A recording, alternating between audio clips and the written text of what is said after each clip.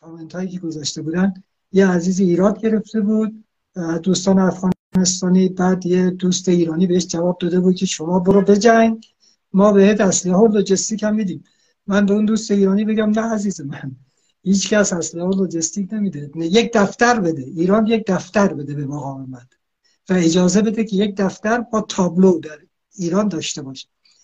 نیروی مقاومت افغانستان هنوز همچین اجازه از جمهوری اسلامی ندارد.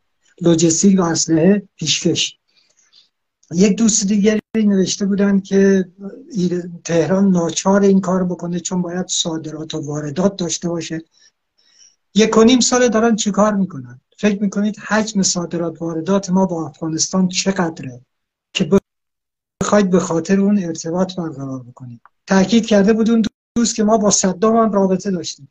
بله دوست من رابطه یک معنی داره اینکه شما دیپلمات یک رژیمی رو که به مشروعیت نمی‌شناسید به رسمیت نمی‌شناسید اونو بیاری بذاری رئیس سفارت این یک معنی دیگری می‌دهد.